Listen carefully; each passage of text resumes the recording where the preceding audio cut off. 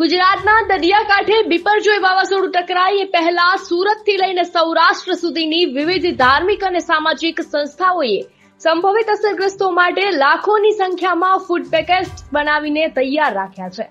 આમ વાવાઝોડામાં મદદ માટે હાકલ પડે એ પહેલા ગુજરાતીઓ મદદ માટે હાજર થઈ ગયા છે. પરંતુ તેની સામે તંત્રની કામગીરીના દાવાઓ પોકળ સાબિત થતા નજરે પડી રહ્યા છે. રાજકોટની શાળા નંબર સુડતાલીસ ખાતે બાળકો સહિત ઓગણીસ લોકોનું વાવાઝોડાને પગલે સ્થળાંતર કરવામાં આવ્યું છે. જ્યાં જમવાની વ્યવસ્થા કરવામાં આવશે તેવા લોકોને આશ્વાસન અપાય છે.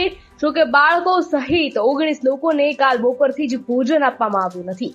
ત્યારે તંત્ર ક્યારે કરશે જમવાની વ્યવસ્થા તેવા લોકોમાં સવાલ ઉદ્ભવી રહ્યા છે.